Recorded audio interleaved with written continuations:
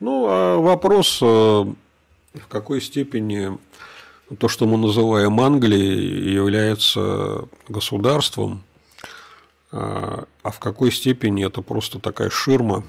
Там была известная история в середине XIX века. Была гигантская Остинская компания, которая ворочала колоссальными капиталами, и вооруженные силы, которые, которые сухопутные были, гораздо больше, чем силы Великобритании, у которой был свой флот, в том числе военный и так далее. И даже, например, когда э, англичане поймали Наполеона и его решили на острове Святой Елены содержать в ссылке, они этот остров купили у Остинской компании, не было у них своей территории для Наполеона – они взяли в аренду, когда Наполеон умер, они обратно отдали Остинской компании. Вот возникает вопрос, кто чем правил.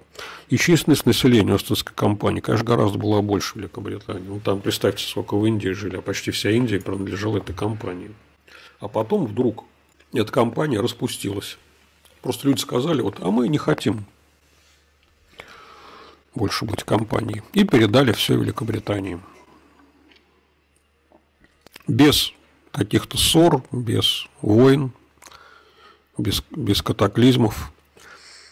А кто был акционерами этой компании, неизвестно.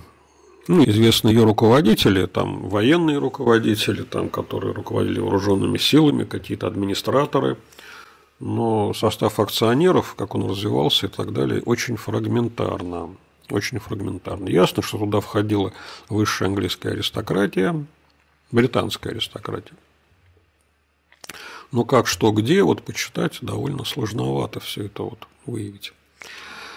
А, значит, мы видим ситуацию, когда есть коммунистический Китай, страшный, агрессивный, и есть маленький, очень такой жирненький, тепленький, вкусненький Гонконг. И потом они безболезненно объединяются, и Гонконг продолжает существовать, ничего там не происходит. Как такое возможно? Это возможно только в одном случае. Когда не Китай присоединил Гонконг, а Гонконг присоединил Китай. Это вот к вопросу, что такое Великобритания. Поэтому, в принципе, там, конечно, может быть и республика, и что угодно. А, так же, как Э, форма правления Советского Союза могла быть совершенно разной. В конце 40-х годов всерьез развивалась идея создания э, монархии. Сталина хотели сделать царем. Отсюда вот введение погон там, и прочие, так сказать, вещи. Почему посол Великобритании Кэр вспоминал, что пьяный э, Сталин говорил, что он его сделает грузинским князем – Каким князем? Куда? Где? Он так говорил, потому что Керму в свое время сказал, что он царем будет. Вот Гитлера победим, и будешь царь. Новая династия будет. Сталинов. Если вы посмотрите логику развития, вплоть до того, что тогда же были введены не, не только погоны, были введены все практически знаки отличия чиновников дореволюционных. Даже школьники стали носить форму гимназисток и этих гимназистов с фуражками гимназическими там и так далее.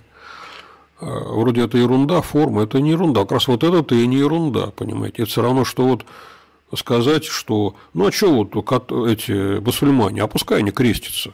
Ну, вот мусульмане, ну просто изменят, пускай крестятся, и все. Ну, попробуйте, сделайте это. То есть, если они крестятся, значит, это уже, извините, это уже не мусульманство, это другая религия совсем. Это они что-то им там изменили в матрице.